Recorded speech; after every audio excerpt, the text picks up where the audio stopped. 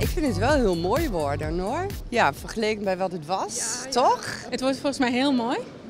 Alleen hoop ik niet dat ik dan al afgestuurd ben en niet meer in Zwolle kom. Ik vind het indrukwekkend. Ik vind het leuk om te zien hoe dat het gaat. Ik vind het ook spannend wat het gaat worden. Ja, dat is eigenlijk wat ik doe. En het is soms lastig, maar ik vind het vooral ook gewoon leuk om te zien wat mensen aan het doen zijn. Ze gaan natuurlijk uit van het, woon-werkverkeer. En dan snap ik wel dat ze dan zeggen van dat doen we in de vakanties. Ik denk dat dat goed is, omdat de treinen toch minder vol zitten. En het dus makkelijker is om alternatief vervoer te regelen. Ik ga ervan uit dat in de, in de herfstvakantie minder reizigers zijn, omdat we, eh, omdat we gewoon reizigers ook vakantie hebben.